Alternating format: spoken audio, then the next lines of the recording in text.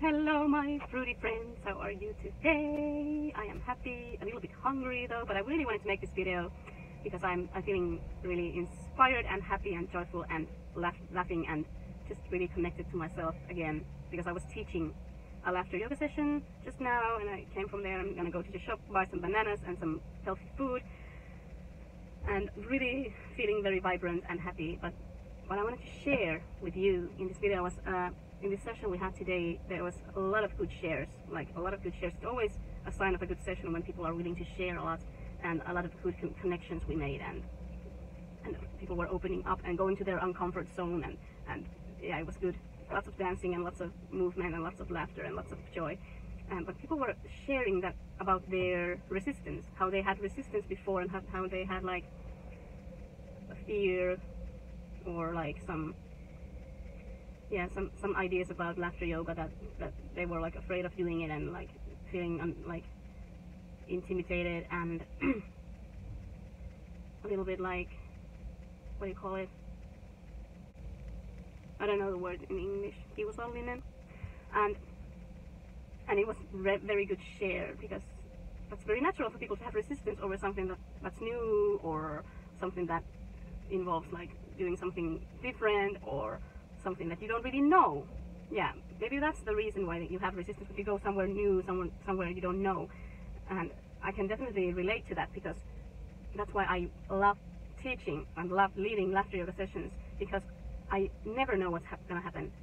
Because it always it's always about the group, and that is what makes the session, creates the, the session, the the group and the people and the individuals and the energy that comes from it. Of course, I can control a lot of it by taking exercises, practices that, that will lead the session into a certain type of, of a state. But, but there's also always like the, the not knowing what is going to happen. And I always, I had a, like a plan what we're going to do and what practices we're going to do, but it's changed. It's, it's changed because I, because I felt like I wanted to, I wanted to do something different with these people than what I was prepared for. I, we did some exercises that we I had planned, but it always happens like that. That I get into the flow and then I want to do something different and, and we just do it and it was very good and and having that resistance is like for me like leading a laughter yoga workshop it's also like I have resistance and I am nervous about it usually but it's still something that I enjoy a lot because it always stretches me it always stretches me to to my uncomfort zone. So it's very natural to have resistance and I always for myself, I think that it's a, it's it's such an empowering thing to do to go towards those resistances to stretch yourself. If you have resistance, you should go to that resistance. You should go towards that resistance because it's gonna make you grow. It's gonna make you grow. And it's gonna make you feel alive. Because when you're going into your uncomfort zone, you will feel alive.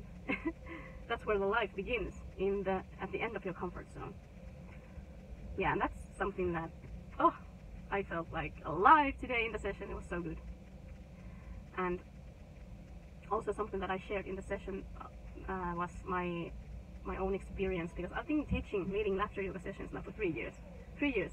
Uh, and I have I've had some breaks during the three years when I didn't practice when I didn't lead or teach.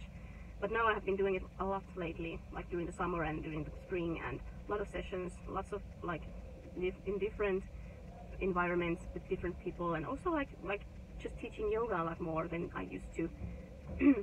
in, and the groups are always different. There's always different people, always always different situation, and it's something that I enjoy a lot. Uh, I love the variety.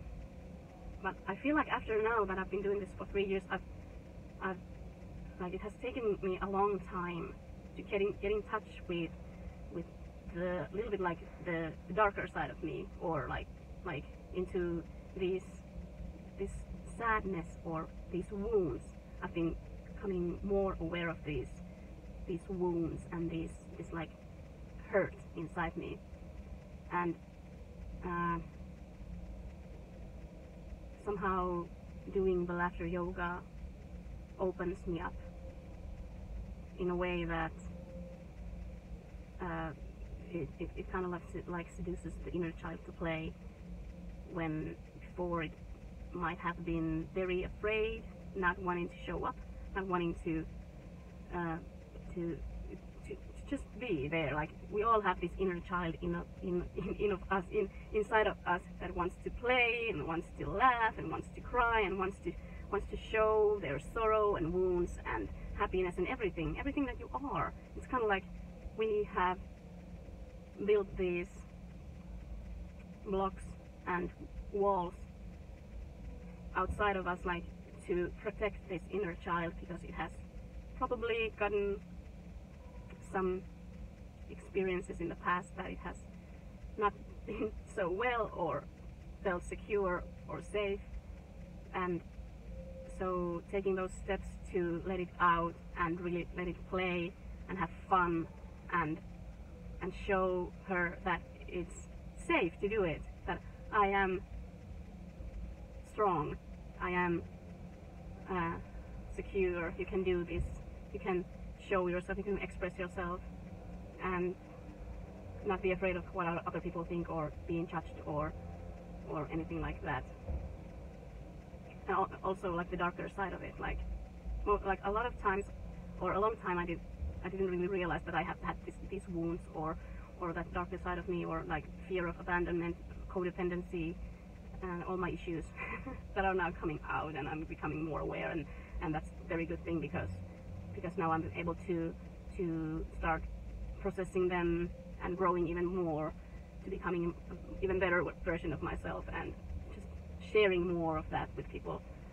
Um, like getting in touch with this sadness and this sorrow and this darker side of me have enabled me to to get in touch with this like that, that I, I have so much tears which I want to cry out.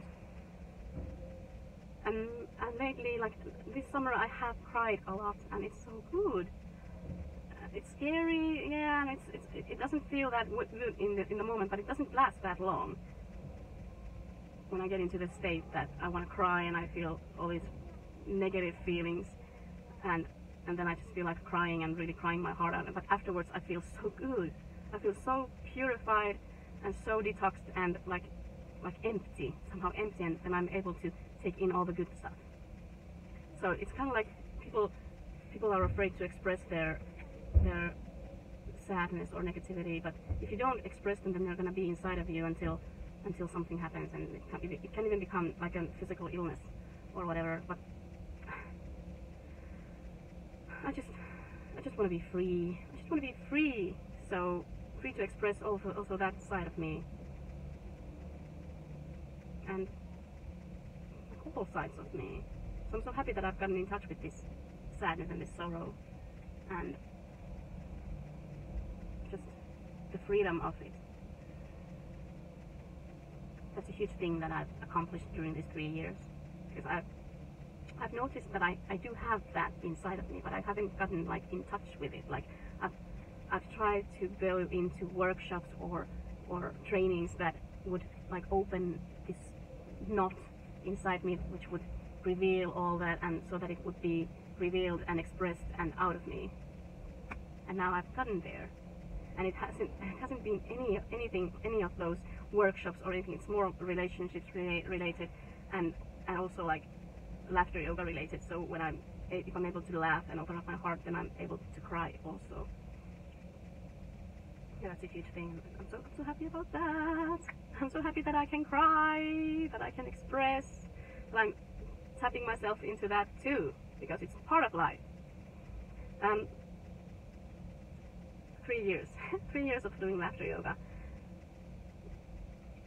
And I've been really active with it now since like January or something like over half half a year and doing it a lot like laughing a lot teaching a lot leading a lot. And by doing that what it has done for me is that I've it has become like a habit for me to feel happy to be happy. So everything that we do all the exercises all the all the all the clapping and all the shouting and everything like energizing it, it's, it's like it's like my constant state now because it, it has become like a habit for me. It, it has become part of me. It's like a lifestyle. It doesn't really ever go away and it's quite easy for me when I get up from bed if I don't feel like superb then I just start laughing or bring my hands up put some good music and dance drink my water and then I feel amazing if I just if I just like do that and it, it brings me to this state again because I've been doing it for so long, and and uh, but it's not like I wake up happy, like I'm happy, I'm happy. No, um, I might when I wake up I might be feeling like I have like nothing to do and nobody cares about me. I feel really depressed, but then it's it's kind of like the exercises that we've done together that has empowered me to take those exercises into my routine and really like empower me. And also like just in life. Life has become so much easier not so serious. And even with the sadness and with the sorrow and with the dark side it's i think it has enabled me to get in touch with that because i don't take it so seriously and i can let it go faster. I can tap into that and i can let it go faster. Yeah. And it's it's a it's a good thing. It's a good thing. You really should do laughter yoga. You really should. You really everyone should do laughter yoga like every day for, for like an hour. Just tuning themselves into joy into happiness into laughter into love opening up their hearts i think so I think that the world would be so much better place if everyone would just express their feelings, express their love, express their sadness, express their joy. Just being happy and carefree and not worry so much. Not worry so much about life. Life is what it is. And it can be so much so much joyful and so, so much more happy and so much more lively and so much more nice activities and energy energy and like love and connection and romance and sex and everything that you would want in your life abundance, everything, anything, everything. I have to quit because it's so long already the video and I will see you in my next video. Mm, thank you so much for watching.